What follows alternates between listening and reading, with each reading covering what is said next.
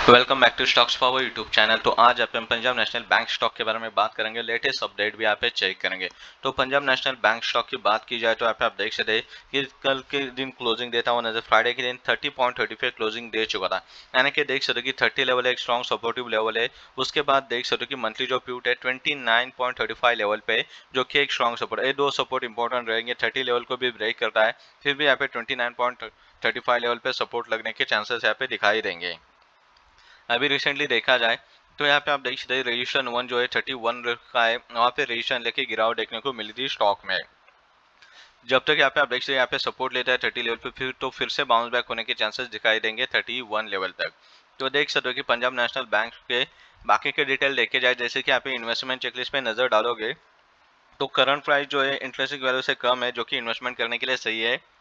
R versus F rate भी देखा जाए तो बैंक एफडी से अच्छा रिटर्न नहीं दे रहा है डिविडेंड की बात की जाए अट्रैक्टिव डिविडेंड भी नहीं दे रहा है, पर एंट्री करने के लिए एक अच्छा मौका है, क्योंकि स्टॉक में ओवरऑल जोन में नहीं है।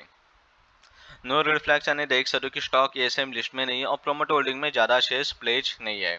जो बेसिक के साथ प्रो डिटेल भी देखे जाए तो देख सकते हो डिफ़ॉल्ट प्रोबेबिलिटी जो आने वाले 12 महीनों में लो रहने के चांसेस है। क्वालिटी चेक्स में पो परफॉर्मेंस है।